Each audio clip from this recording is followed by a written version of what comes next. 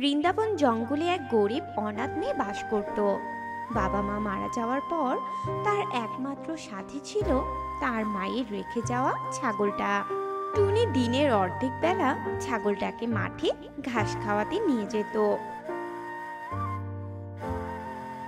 আর অর্ধেক বেলা অন্যের বাড়িতে কাজ করত। একদিন গুড্ডু, আমার শরীরটা আজ একটু খারাপ লাগছে। তোকে কি আজ ঘাস না খাওয়ালে হবে না রে?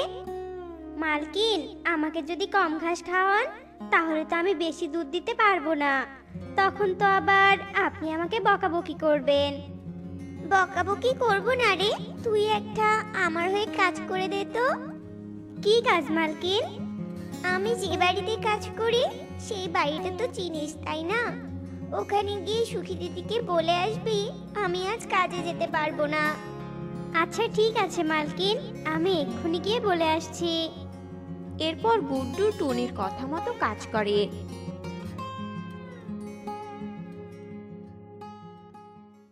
ফেরার পথে গুড্ডু দেখে একটা জমিতে ঘাস চাষ করা। তা দেখে গুড্ডু বলতে থাকে মালকিন তো আমাকে বলেই দিয়েছে আজ ঘাস খাওয়াতে পারবে না।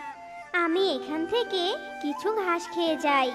তাহলে মালকিন আমাকে আজ ঘাস না খাওয়ালেও চলবে।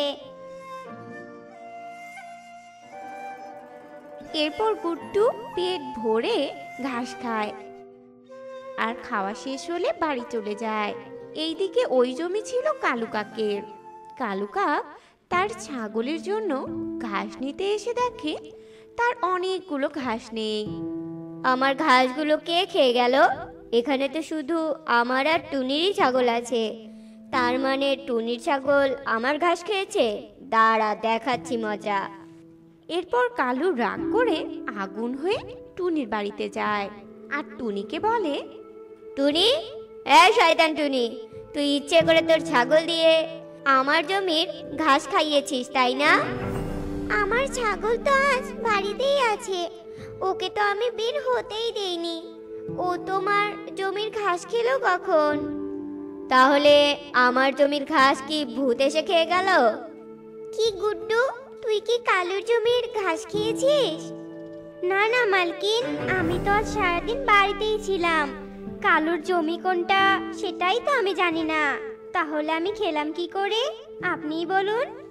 আচ্ছা ঠিক আছে। তোরা যখন আজ স্বীকার করলি না এরপরে আমি দেখে নিব তোদের।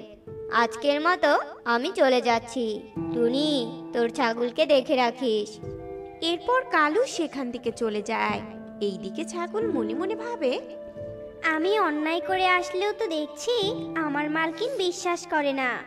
এখন থেকে মালকিন আমাকে বাসায় রেখে যে অর্ধেক সময় কাজে চলে যাবে সেই সময় আমি অন্যের জমিতে ঘাস খেয়ে আসব। কি মজা কি মজা। এরপর থেকে গুড্ডু অন্যের জমির ফসল খাওয়া শুরু করে। এরপর একদিন গুড্ডু শালিকের ধানের জমিতে যায় আর শালিকের ধানের জমি থেকে অনেকগুলো ধান খেয়ে ফেলে। এটা আবার শালিক দূর থেকে দেখতে পায়। এরপর শালিক টুনির কাছে আসে বিচার নিয়ে। টুনি, এই টুনি!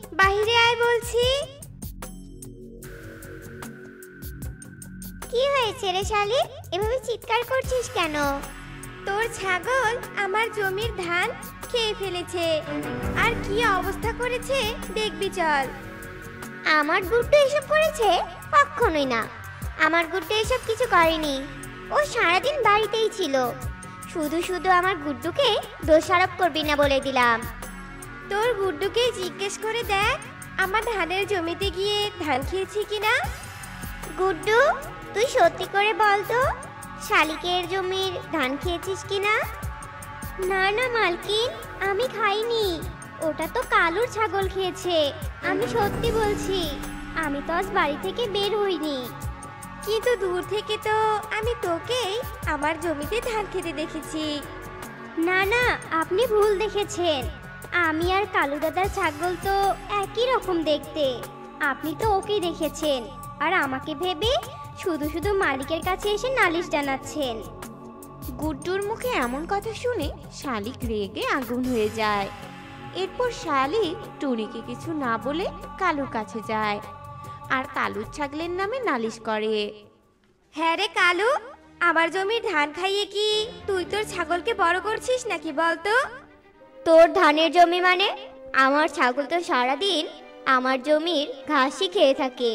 তোর জমিতে যাবে কোন দুঃখে বলতো আমায়? আমার ছাগলের কি খাওয়ার অভাব নাকি? দেখ কালু আমি কিন্তু তোর সাথে তর্কে চড়াতে আসিনি। তোর ছাগলকে সাবধান করে দিস বলে দিলাম আর যেন আমার জমিতে না যায়। এরপর শালিক সেখান থেকে চলে যায়। ওই ওইদিকে কালুরও মনে মনে খুব রাগ হয়। এভাবে বেশ কিছুদিন কেটে যায়। গুড্ডু সবারই কোনো না কোনো জমিতে ফসল খেত আর অন্যর নামে চালিয়ে দিত। এদিকে টুনিও তার ছাগলকে কোনো শাসন করতো না। শাসন না পেয়ে টুনির ছাগল আরও বেপরোয়া হয়ে যায়। এরপর একদিন টুনি গুড্ডুকে বলে, কি রে গুড্ডু, তুই এখন দুধ দিচ্ছিস না কেন রে বলতো? মালকিন, আমি তো গর্ভবতী, তার জন্যই আমি দুধ দিতে পারছি না। আর কয়েকটা দিন অপেক্ষা করুন। আমার ছানা হওয়ার পর আমি অনেক দুধ দিতে পারব। আর তখন সেই দুধগুলো বিক্রি করেই অনেক লাভবান হতে পারবেন আপনি। আচ্ছা আচ্ছা ঠিক আছে। এ তো খুব খুশির খবর। মালকিন, আমার তো এখন প্রায়ই শরীর খারাপ থাকবে। যখন তখন হাঁটতে ইচ্ছে করবে। আমার গলায় যদি এই রশি লাগানো থাকে তাহলে তো আমি আর যখন তখন হাঁটতে পারব না। এই রশিটা আমার গলা থেকে খুলে দিবেন আপনি? আচ্ছা ঠিক আছে। তবে কারও জমির ফসল খাবি না কিন্তু।